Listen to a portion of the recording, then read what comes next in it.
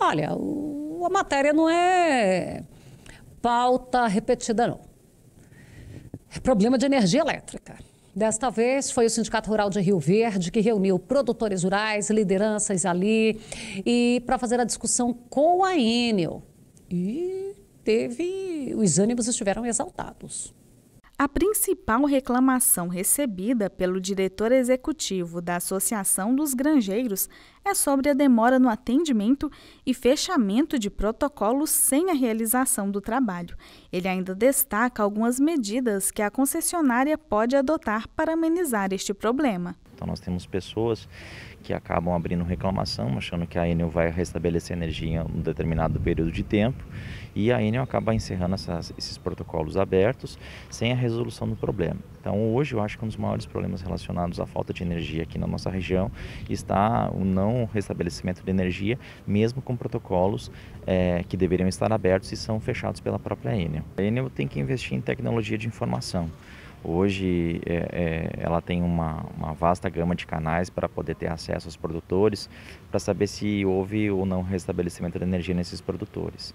E acaba que ela acaba encerrando esses protocolos de abertura de falta de energia e o produtor acaba tendo que abrir novos protocolos, esperando por novas equipes e assim o tempo está se passando. Né? Nós temos produtores aí com 3, 4 dias sem energia e aí sem nenhuma explicação por parte da Enel por não estar restabelecendo esses pontos.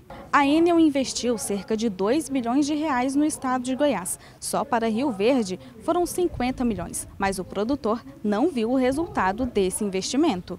Como é o caso do senhor Nivaldo, pecuarista de leite, que já perdeu as contas em quanto gastou apenas de diesel para manter a fazenda funcionando. O que mais prejudica a gente é a produção de leite, que temos resfriamento, a ordenha, a parte de produção de rações, todo, todo o sistema para.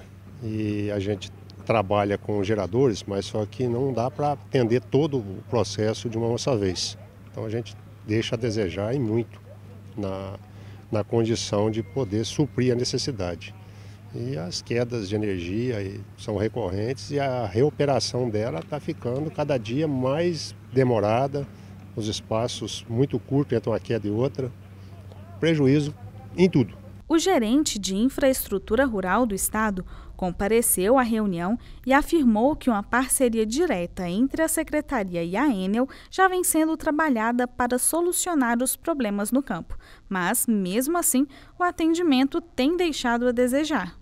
Bom, a agricultura hoje, a agropecuária, se comporta como um, um sistema agroindustrial e depende muito do fornecimento de energia elétrica em todos os seus sistemas. Algumas cadeias são mais prejudicadas, como as aves e os suínos e a produção de leite, mas todas são prejudicadas como um todo. A gente vê é, que os investimentos realizados por parte da companhia energética, a Enel, eles são vultosos, mas ainda temos vários períodos de interrupção e nossa obrigação como Secretaria da Agricultura é cobrá-los e tentar mitigar esses períodos de, de interrupção para que os produtores não sofram com as eventuais quedas de energia. Nos últimos 60 dias, o pecuarista Antônio Carlos gastou mais de 10 mil reais em diesel para manter a atividade na fazenda. Nos últimos 60 dias, que a gente considera um lote de frango, eu tive um consumo de 10 mil reais de diesel. 10 mil reais. São 120 horas é, falta de energia. 120 horas, o gerador consome 10 litros de diesel, aí fazer a conta, né? Então, 10 mil reais de diesel, que é prejuízo, para nós é prejuízo, né? Nós não temos que ter esse gasto. O gerador está lá só para dar um, um suporte, não tocar a granja, né? A gente solicita a, a, o reparo, né? A, a religação, e eles demoram 24 horas, é, 15 horas, 10 horas, é mais ou menos nessa faixa aí, sabe? É, parece que eles não estão muito interessados no, no, no atendimento, não. Todos os produtores conseguiram expor as dificuldades em relação ao atendimento da distribuidora. Como resposta, O representante da empresa disse que está fazendo ajustes para melhorar a rede em Goiás, mas que ainda vai precisar de tempo para elaborar um plano de ação mais eficiente para 2022 e apresentar o que foi feito nas redes este ano. Está sendo feito com quantidade de equipes em atendimento. Então isso está sendo feito junto com a Secretaria de Agricultura. Um plano específico de atendimento para o produtor rural. E aí eu acho que a gente pode concluir da seguinte maneira.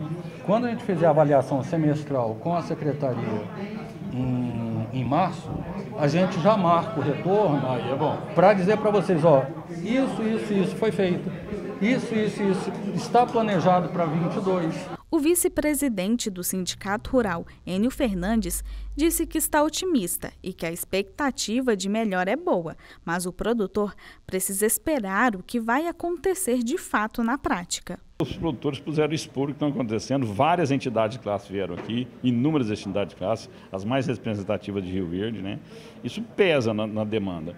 Agora, a expectativa é positiva. Nós temos que ver se o fato real vai ser resolvido. Né? Essa, nós vamos amenizar essas questões de insatisfação do produtor rural. A próxima reunião já está marcada. Março do ano que vem, a gente vai sentar e reavaliar o que a gente discutiu aqui.